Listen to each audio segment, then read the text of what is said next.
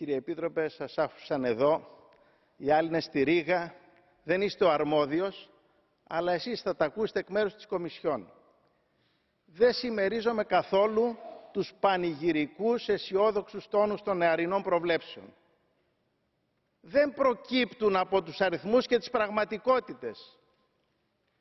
Αυτοί οι αισιόδοξοι τόνοι, είσαστε ενθουσιασμένοι με τον εαυτό σας.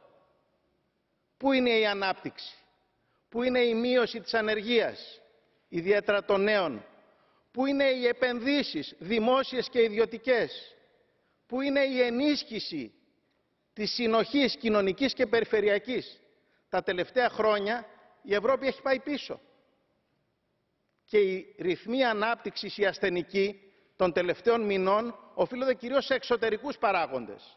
Άρα χρειάζεται μια στροφή της οικονομικής πολιτικής από το δόγμα της μονομερούς λιτότητας και των περικοπών.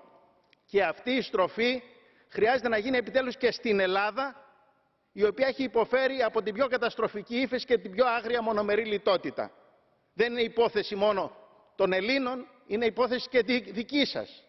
Εμείς πρέπει να εξασφαλίσουμε καλύτερη διοίκηση, λιγότερη γραφειοκρατία, λιγότερη διαφθορά, ισχυρότερη οικονομία, αλλά και εσείς πρέπει να απαλλάξετε τη χώρα από ένα πρόγραμμα που της επιβάλλατε, το οποίο έχει καταστρέψει και την οικονομία και την κοινωνία. Εύχομαι αυτοί που λείπουν και σας άφησαν εδώ, στη Ρήγα, να βοηθήσουν να λυθεί αυτός ο κόμπος και για την Ευρώπη και για την Ελλάδα. Mr. Papadimoulis, you have a blue... Κύριε Παπαδημούλη, έχετε μπλε κάρτα, τη δέχεστε; Από την κυρία Γκραπίνη. Mulțumesc, doamna președintă.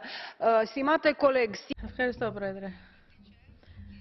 Αγαπητοί συνάδελφοι, βεβαίως και έχουν επικριθεί οι παρεμβάσεις της Ευρωπαϊκής Επιτροπής και εγώ δεν συμφωνώ πάντοτε. Όμως πιστεύω ότι πρέπει να γίνουν περισσότερες επενδύσεις κυρίως στις μικρές επιχειρήσεις για να βοηθηθεί η Ελλάδα και να βγει από αυτή την δύσκολη κατάσταση. Εσείς πιστεύετε ότι το Ταμείο Επενδύσεων θα πρέπει να τηρεί και κριτήρια ε, γεωγραφικά ή όχι; Ευχαριστώ για την ερώτηση.